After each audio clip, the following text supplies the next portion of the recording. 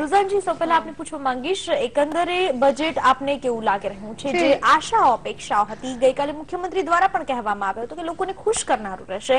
શું ખરેખર ખુશી લઈને આવ્યું છે કે કેમ આ budget if I look at it from the point of view કે જે રીતે અત્યારે માઇન્યુટ એટલે માઇન્યુટ ના કે જે ડિટેલિંગ આ વખતે આપણને સાંભળવા મળ્યું છે. થોડું લાસ્ટ યર એવું હતું પણ આ વખતે વધારે ડિટેલિંગ સાંભળવા મળ્યું છે.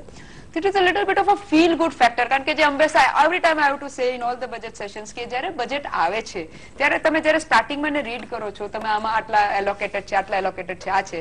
તો you always feel good about it but the one thing that is કે આફ્ટર એ વર્ષ પતે છે, પછી એ એલોકેશનનું શું થયું, એમાં એટલું ખાસ જાણે કે ખાલી ઇટ સેટ કે મા વાત્સલ્ય યોજના વોઝ ગુડ એટલે એકસો ત્રીસ કરોડ, અરે વન સિક્સટી કરોડ આપણે વધારે કર્યું, તેત્રીસ ટકા વધાર્યા.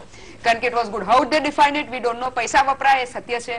એટલે યુ નો વિથ આ એક એક્ઝામ્પલ આપ્યો મેં તમને. તો આ રીતે અગર બીજી બી બધું જે લોકોએ બ્રેકઅપ આપ્યા છે, એમાં અગર કહે તો આપણને ખબર પડે otherwise you you can't go and compare at this stage right now which can be done at a later stage બીજો પોઈન્ટ કે અગર તમે budget of any point of વ્યૂની વાત કરો છો એક્સપેન્સીસની તો એક્સપેન્સીસ ફાઇન આવી ગયા. હવે જે ગવર્મેન્ટને જે ઇન્કમ આવશે એ વેરી નેચરલ છે કે ઓબ્વિયસલી જે રીતે અત્યારે જેટલું મને ખબર પડી છે તો જે રીતે ઇન્કમ સારા જે એને વેટ ઘટાડ્યો બહુ સારી વાત છે. પણ જ્યાં વેટ ઉમેરી વધાર્યો છે યા જ્યાં એ લોકોએ ઇન્ડસ્ટ્રી પર બર્ડન નાખ્યું છે તો ultimately it will boil down to other શું કહેવાય ultimately it will boil down to people who will have to shell out more money this way directly or indirectly એટલે but coming back to the basic point to start with I have it's a feel good feeling of the budget